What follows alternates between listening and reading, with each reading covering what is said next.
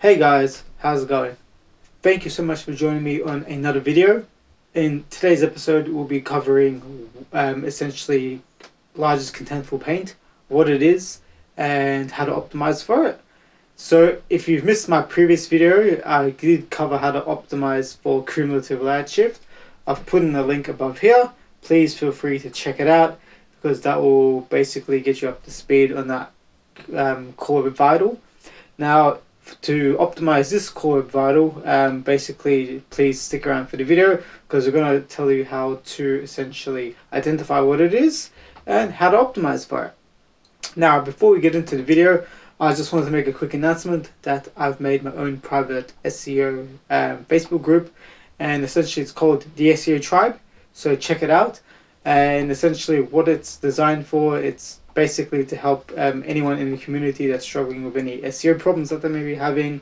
Um, we're here to also discuss um, SEO community news and just to assist where possible. So definitely, if you feel like that's a group that you may benefit from, please check out the link in the description down below. So now let's get into the video of largest contentful paint. So what is the largest contentful paint? The largest contentful paint is the largest element on your screen. And um, this is essentially, um, could be text, such as like paragraphs. This can be images or videos. And the way it works is that the largest contentful paint can change over time as a page loads.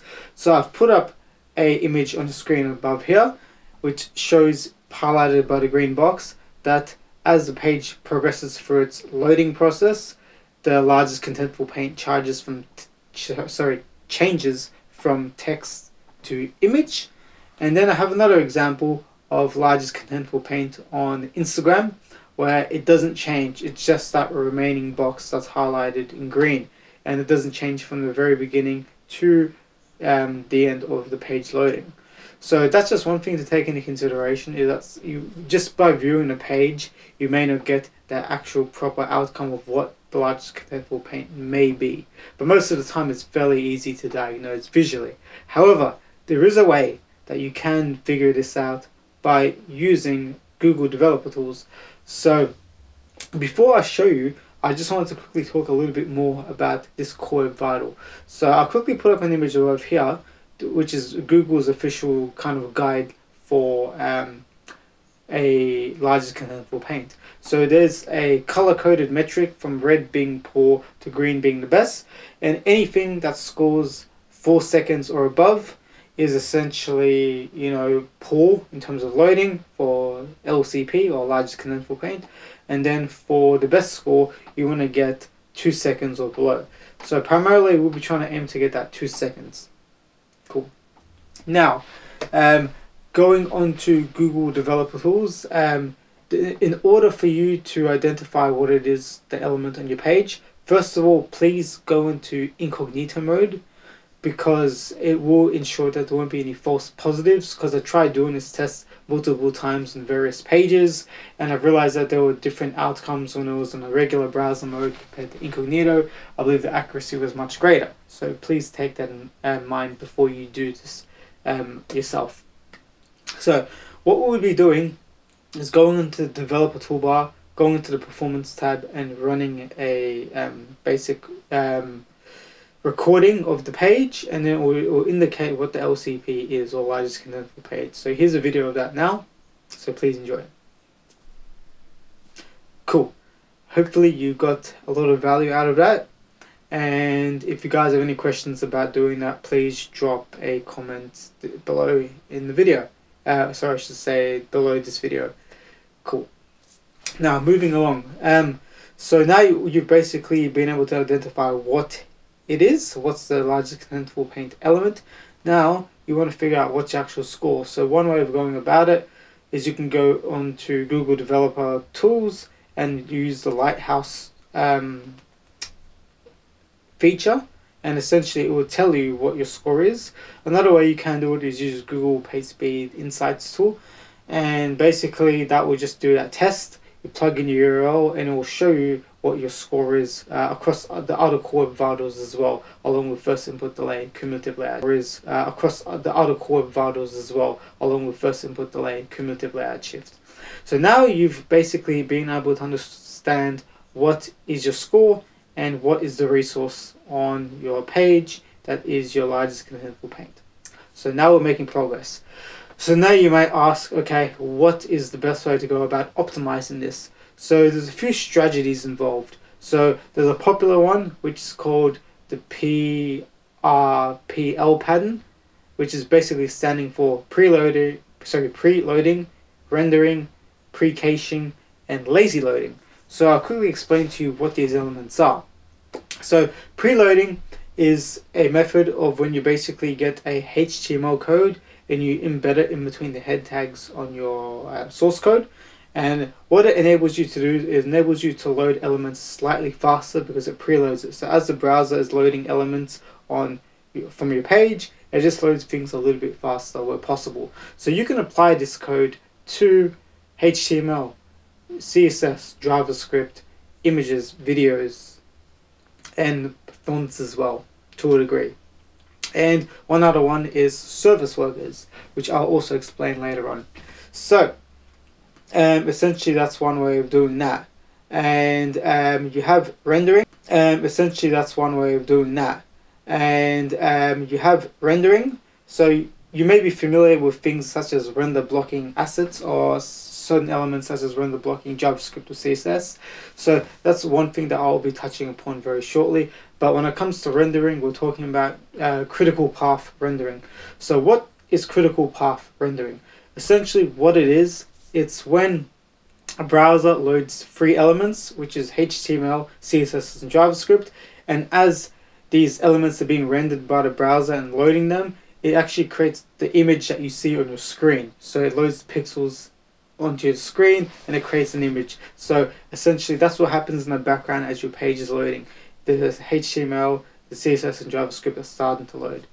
And browsers load and render, um, I should say render rather than load, um, HTML really, really smoothly. Um, and the way it works is that it just pretty much goes through um, without a problem. But whenever the browser encounters anything that is CSS or JavaScript, it has to slow down the rendering and has to wait because it technically blocks the rendering process. This isn't necessarily a bad thing because CSS and JavaScript is important on a website.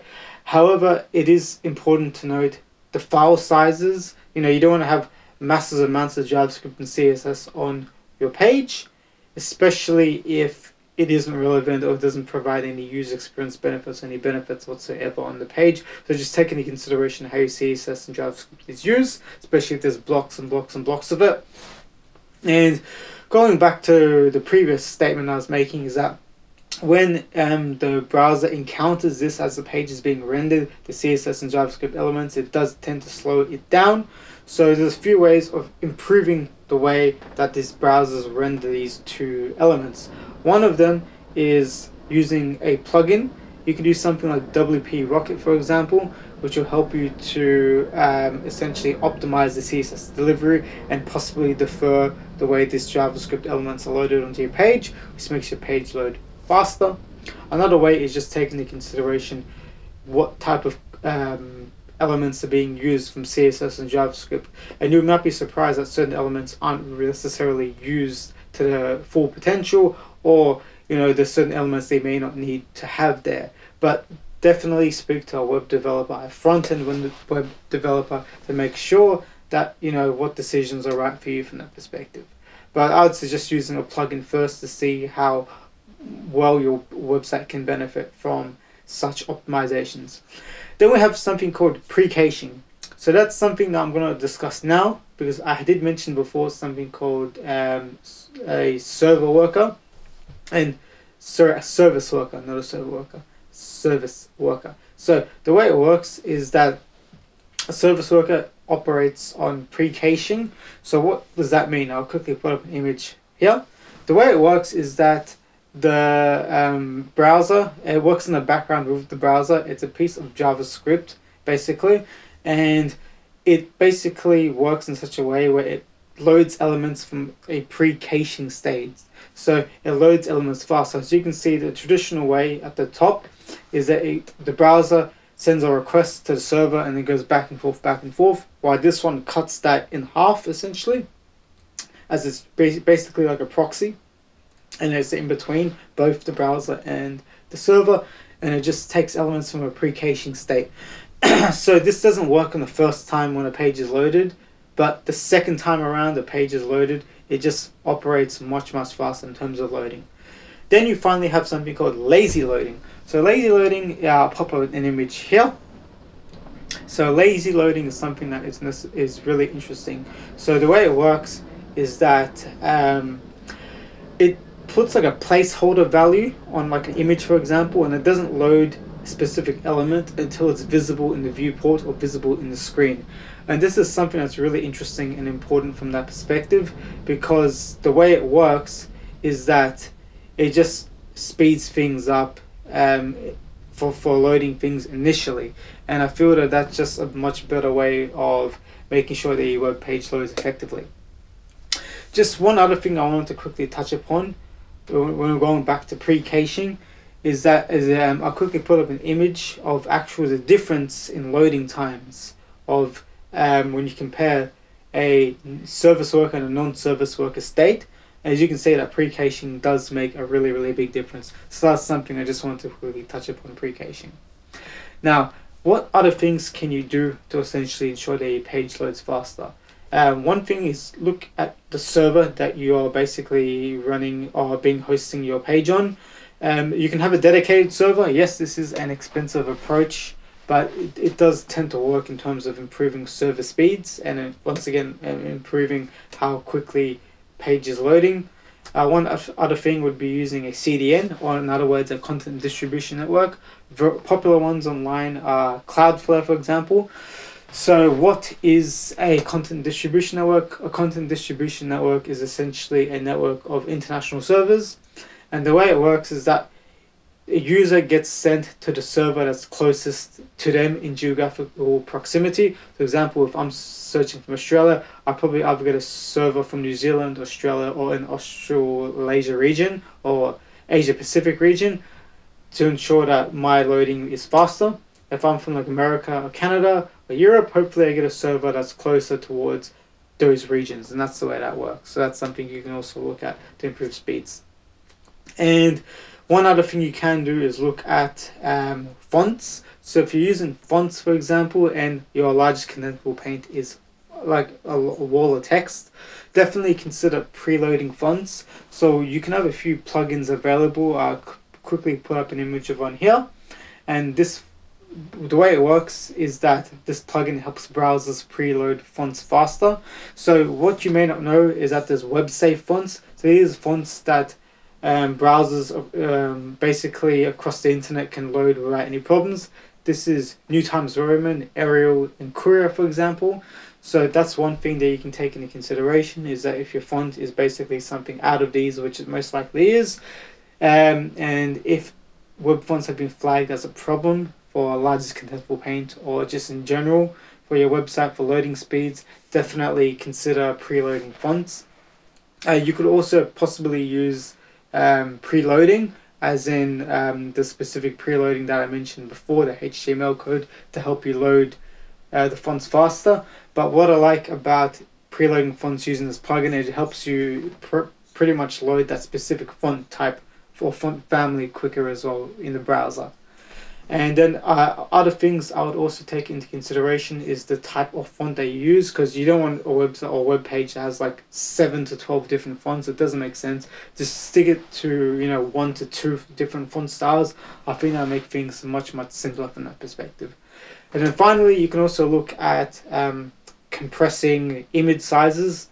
So you can use a tool like TinyPNG, for example, to compress the images sizes to make sure these sizes aren't that big Another thing you can also look at is the width and dimensions, so the height and width of your image to make sure if an image is a problem, you're going to make sure that it isn't, um, you know, necessarily too big um, from the actual sizing on your page, because then once again you're unnecessarily loading a, an image that's too big. Try and size it to the correct dimensions of the web page. Uh, one other element would be you know taking into consideration videos. Um, if you're using embedded videos and things of that nature, take into consideration what type of videos they are and how they're loaded, because there's probably different ways you can figure out to serve videos um, to make them a bit more optimized. But the the biggest culprit is normally images, um, in my experience, that are um, for the largest contentful page creating quite a few problems for loading. So that's kind of majority of it. So what you've learned is you've learned what largest contentful paint is. You've learned how to identify it using Google Developer Tools. You've learned what scores Google can, give you and common ways to optimize um, um, for the largest contentful paint. So overall, I hope you guys have had a lot of value out of this. Please like, comment, and subscribe. And basically, um, I'll see you guys on the next video, which will be first input delay. So thank you guys so much for your time and see you in the next video.